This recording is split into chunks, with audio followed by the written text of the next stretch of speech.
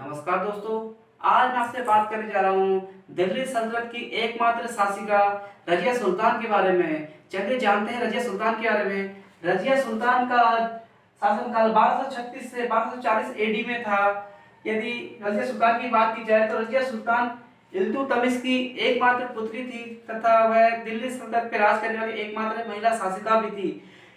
महिला होने के कारण रजिया सुल्तान को दिल्ली की शासिका नहीं बनने दिया जा रहा था। इस कारण एक दिन जिस समय वहाँ ईद के समय नमाज़ अदा की जाती है, उस समय वह लाल कपड़ों, जो एक सत्य और निष्ठा का प्रतीक होता था, जिसके कारण वह सभी के सामने एकत्रित हो गया। सब भीड़ को उसने एकत्रित करके पूछा कि क्या उसे सिर्फ़ महिला होने के कारण शासिका नहीं बनने दिया रहा है तो उसने सभी लोगों से हमदर्दी जताते हुए सभी लोगों की हमदर्दी जलाई गई तथा इस कारण उसे दिल्ली की महिला शासिका बारह छत्तीस एडी में बना दिया गया। यदि बात की जाए रजिया सुल्तान की तो रजिया सुल्तान का एक इकतेदार था, वो भटिंडा था, जिसे आज, जिसे तवा हिंदी भी कहा जाता था। उसका नाम था अल्तुतुनिया। उसने रजिया सुल्तान के खिलाफ विद्रोह कर दिया। तथा इसे निपटाने के रजिया स्वयं भटिंडा गई तथा वहाँ पर होता यह है कि रजिया सुल्तान इस इकतेदार, अर्थात अल्तुतुनिया से युद्ध में हार जाती है। इस कारण रजिया सुल्तान को अल्तुतुनिया से शादी करनी पड़ती है। तथा रजिया सुल्तान के दिल्ली से भटिंडा जाने पर वहाँ पर अमीरों द्वारा दूसरे शासक को गद्दी पर बैठा दिया जाता है। तथा भटिंडा से लौटते समय रजिया तथा उसके पति अल्तुतुनिया की हत्या कर दी जाती है। तथा इसी कारण वहाँ पर बहराम साहब को भी यहाँ पर शासक बना दिया जाता है। अब बात की जाती है रजिया सुल्तान ने क्या क्या उपाधियाँ दी, जो उसके साथ के लोग थे, उनको क्या क्या उपाधियाँ दी?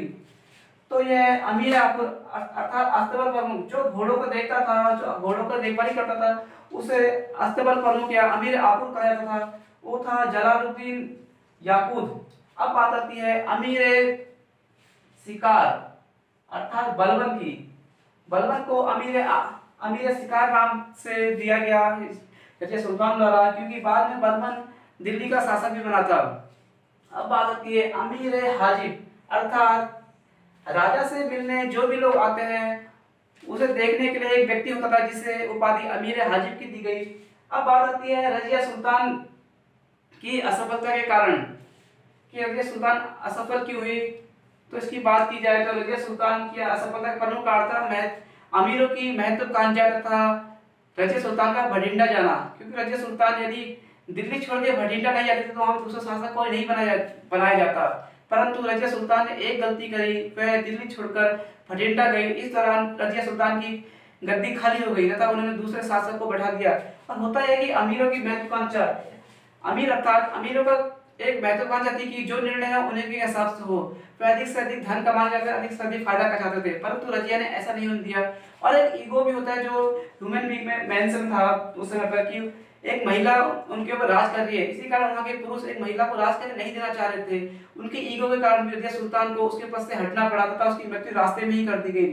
तथा जो एक रजिया सुल्तान अमीर हाजिब की उपाधि दी गई थी, वो एबीन को दी गई थी। दोस्तों, यदि आपको ये मेरी वीडियो अच्छी लगे तो मेरी वीडियो को लाइक और शेयर कीजिए तथा मेरे चैनल को सब्सक्राइब कीजिए। धन्यवाद।